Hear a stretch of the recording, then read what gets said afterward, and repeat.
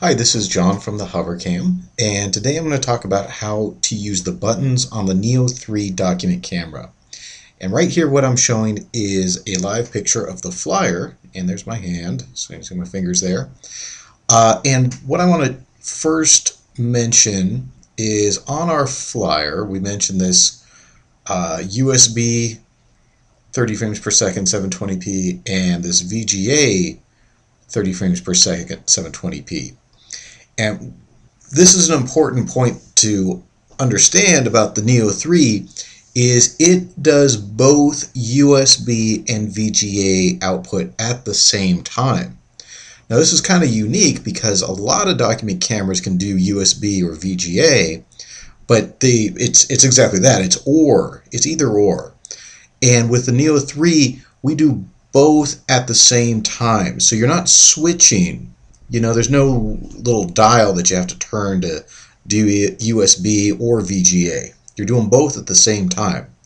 And why this is important for the controls is because we have two sets of controls now in order to accommodate this. So when you're using the computer or the USB port, you want to use the controls that are in HoverCam Flex. And that, that's what I'm showing right now is HoverCam Flex. So in HoverCam Flex, you can zoom in and zoom out using the mouse wheel. Uh, you know, you can move the page around. Uh, you change resolutions using the drop-down menu off to the left here. And you could freeze frame down at the bottom by clicking on the on the freeze frame button. Here, I'll show you what this does. So if I put my hand in there and I click freeze frame, I could move my hand out there and, and you still think my hand's there. But when I unfreeze it, you can see I've moved my hand. Uh, so that's that's convenient for if you're going to be switching pages a lot, you might want to freeze frame, lock onto it, uh, and then change the page and then unfreeze frame it so that you've gone to the next page. You know, it's a little less uh, jolting to the audience.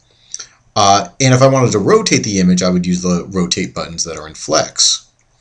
So those are all nice features and things that you need in your camera. But what if you're doing VGA? So if you're using VGA, you're just hooking the camera right up to something like a projector or a television, and you don't necessarily have a computer to control it. And that's why we have these buttons on the pedestal. And I'm going to use even HoverCam Flex annotation to point these out. So I'm talking about these buttons down here. Okay, so here are the buttons on the Neo 3. Now the left and right buttons are going to be used to change the resolution.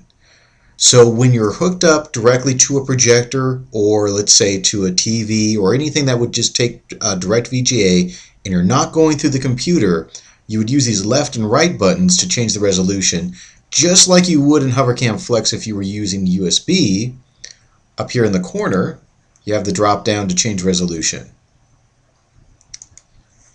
Now the middle button, that M, that little M button, if you can see that where my finger is, that is to freeze frame, just like we saw in HoverCam Flex, this, this function. Or you can hold down the M key and it'll flip the image.